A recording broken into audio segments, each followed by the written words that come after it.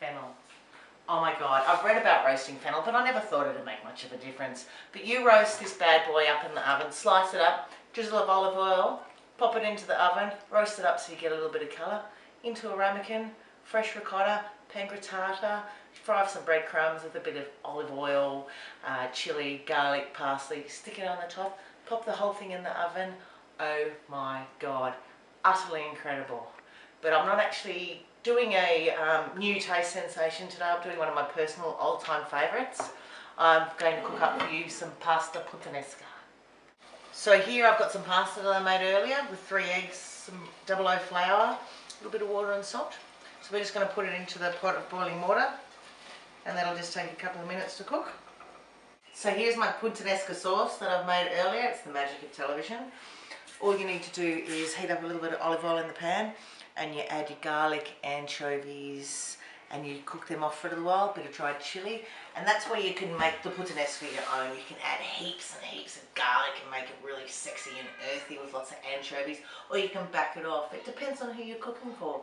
So you just cook those off, add a couple of cans of tomatoes, or a big bottle of passata, and then you just cook that down until you've got a nice rich tomato sauce consistency. Then I'm going to just drain off my pasta. Only takes a couple of minutes to cook fresh pasta. It's the joy of making it yourself.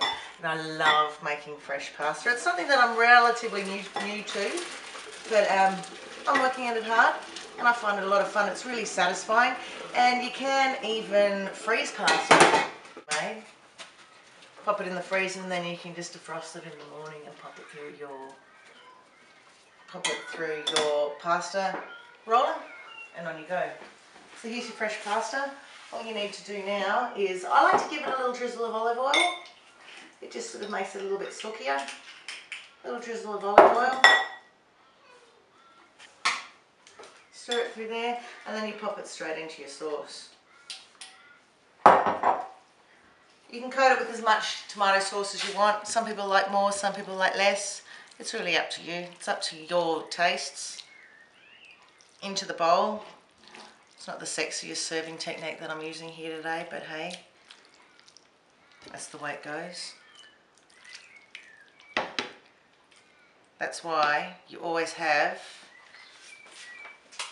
a tea towel at hand. Wipe the rim of the bowl, shred over a little bit of basil, maybe a little bit more shredded than what I'm doing right now.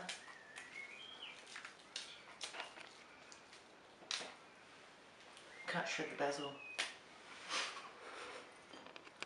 And there you go, pasta puttanesca, one of my favourite meals. Something else I've been getting excited about in the kitchen are jellies. Mexican may be the new black, but I think jellies are going to be the new black of the dessert world. Surely macarons have had their time to shine. All you need to do, it's pretty simple really, is make two different jellies and then you layer them in the fridge, letting them cool between each layer. This kind of stuff excites me. It's, it's, it's fun and new. That's what I like about food, things that are new and unfamiliar. I love sharing food with my family and friends. It's how I show people that I love them. And I hope I get to do that with you too.